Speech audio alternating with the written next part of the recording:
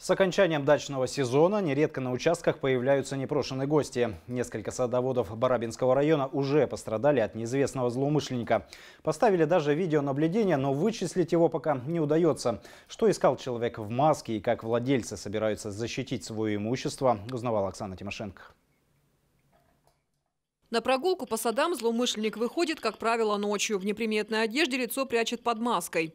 Через вот этот вот забор он прыгает, как будто спортсмен, с двумя сумочками. Моложавый человек, вот.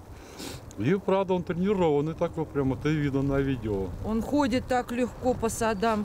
Садоводы внимательно изучили видеозаписи и пришли к выводу, что промышляет один и тот же человек. Все, что в домике полезного лежит, он все забирает.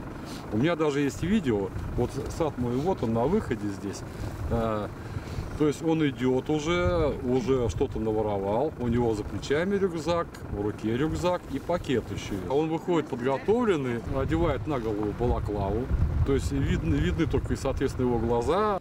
Галина Морозов на своем участке живет с ранней весны до поздней осени. Сейчас дачу законсервировала. На садовый участок приехала, когда увидела по камере видеонаблюдения, что к ней пожаловал непрошенный гость. Все перевернут, все перепачкают. В крупу, если что, все рассыпят, все нагадят, нагадят. Бессовестные, что ищут, не знают.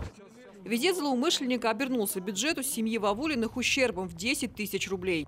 В нашем доме он, значит, сломал три окна, стекла побил, э, ставни сломал, пытался в дверь проникнуть, но у нас все решетки, поэтому, возможно, он не мог попасть.